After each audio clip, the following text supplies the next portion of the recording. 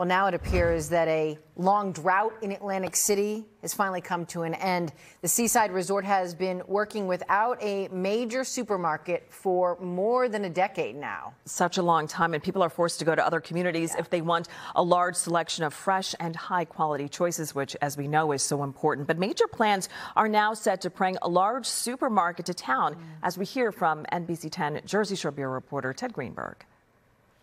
It is a resort with billion dollar buildings along the ocean, but Atlantic City has long been known as a desert, a food desert, barren of fresh, healthy, and affordable groceries. It has been a minor nightmare. Now, a long awaited change is on the horizon after being void of a major supermarket for more than 15 years.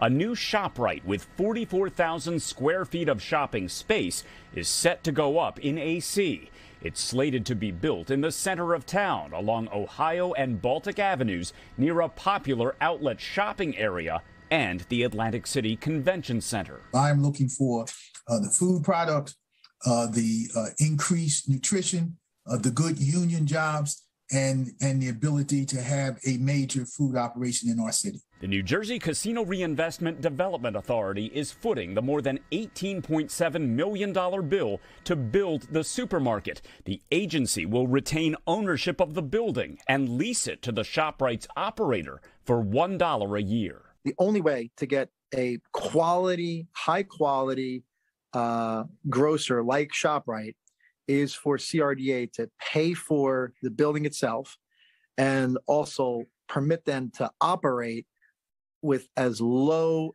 uh, an overhead as possible. ShopRite is to be uh, praised for coming into an urban area, uh, for taking a chance on Atlantic City. I'm told the new ShopRite will employ between 100 and 125 people, many of them Atlantic City residents.